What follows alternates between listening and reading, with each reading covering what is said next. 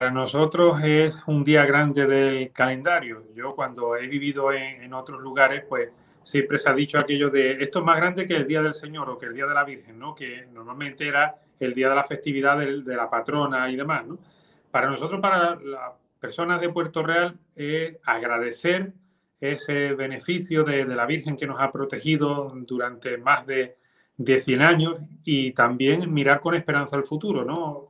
En estos días hemos predicado acerca de que el cristiano tiene que mirar con esperanza el futuro y por eso se encomienda a la Virgen también, ¿no? igual que en las bodas de Caná, la Virgen estuvo pendiente, igual que en Lourdes, igual que en Fátima, ¿no? eso de, que la Virgen tiene esa mirada de madre y que a nosotros, pues en cierto modo, nos impulsa a mirar todo con esperanza. ¿no?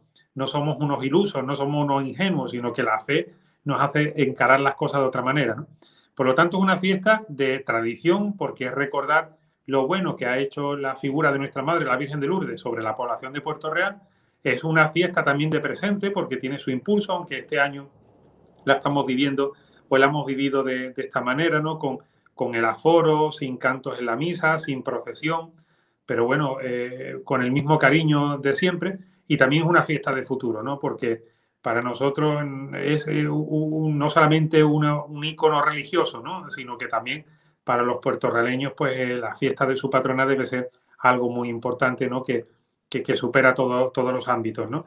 Eh, yo pienso que muchas de las personas pues tendrán también en su corazón esa entrañable vivencia con sus abuelos y con sus padres del día del 11 de febrero, ¿no? Yo recuerdo que mi abuela, era, era costurera y esto lo refiero yo mucho porque las costureras tenían la costumbre de, utilizar a la hora de reproducir las cosas un patrón, ¿no? Un patrón, ella tenía unas piezas que eran como de papel y ella eh, reproducía en tela aquello que, que, la, que tenía ya marcado, ¿no? Bueno, pues nosotros al tener eh, de patrona a la Virgen es como si nosotros quisiéramos reproducir también la figura de la Virgen que tan importante es para, para los cristianos, ¿no? La Virgen es la discípula perfecta del Señor, ¿no? Ella es la que nos llama a hacer lo que el Señor nos dice, ¿no? Para tener esa existencia también plena, ¿no? Que es la existencia que nosotros como cristianos creemos, Decía San Alfonso María de Liborio que el verdadero cristiano es aquel que sabe imitar las virtudes de la Virgen, ¿no? Por eso durante este tridu hemos estado también mirando esas virtudes que son virtudes muy numerosas, ¿no? Cualquier página del Evangelio que coja y cualquier virtud que se refleje, pues la Virgen la tiene en excelencia, ¿no? Y por lo tanto nosotros cuando hacemos actos de devoción a la Virgen, pues aparte de las flores y de las velas y de esas cosas tan bonitas que como eh, muestra exterior hacemos, también lo que tenemos que hacer es ofrecerle a la Virgen ese, buen comportamiento del cristiano, ¿no? esa, fe grande que tuvo en el Señor esa esperanza grande para, para, también ser capaces de dar una respuesta cristiana a todo lo que nos está viniendo, ¿no?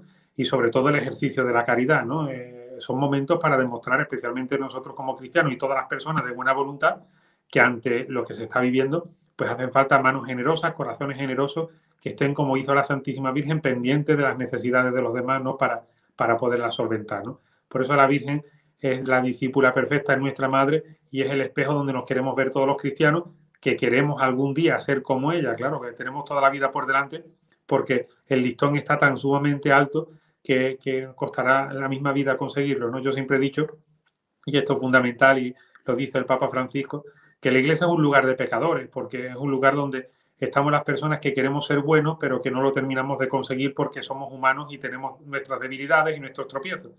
Y dice el Papa Francisco, el lugar de pecadores sí, pero de corruptos no. Es decir, no podemos vivir en ese estado de pecado, sino en el querer superarnos a nosotros mismos con la ayuda de la gracia, pues para ser verdaderos imitadores de, del Señor y también sobre todo de la Virgen.